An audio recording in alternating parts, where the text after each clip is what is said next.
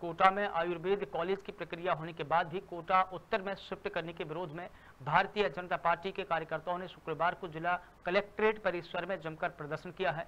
राजस्व अधिकारी को मुख्यमंत्री के नाम ज्ञापन सौंपा गया है। बीजेपी नेता विकास शर्मा की अगुवाई में कार्यकर्ताओं ने कलेक्टर से मिलकर सरकार के द्वारा विकास कार्यो में भेदभाव करने के गंभीर आरोप लगाए हैं। बीजेपी वर्करों का आरोप है कि कोटा क्षेत्र में तलबंदी में, आयुर्वेद अस्पताल परिसर में ज़मीन और भवन के नक्शे का अप्रूवल हो चुका है। पहली किस्त के लिए 40 करोड़ रुपए की राशि भी जारी कर दी गई है, लेकिन कॉलेज को रोका जाना भेदभाव को दर्शाता है।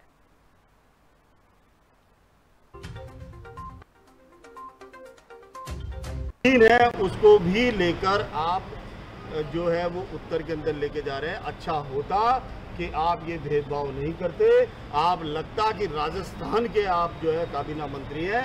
ऐसा बार बार आपके कृतित्व से प्रतीत होता है कि पूरे राजस्थान के अंदर केवल आप उत्तर के लिए ही मंत्री हैं। ये भारतीय जनता पार्टी इसकी घोर निंदा करती है। और अगर आयुर्वेद महाविद्यालय उत्तर में शिफ्ट हुआ तो इसके लिए एक बड़ा आंदोलन भारतीय जनता पार्टी करने जा रही है।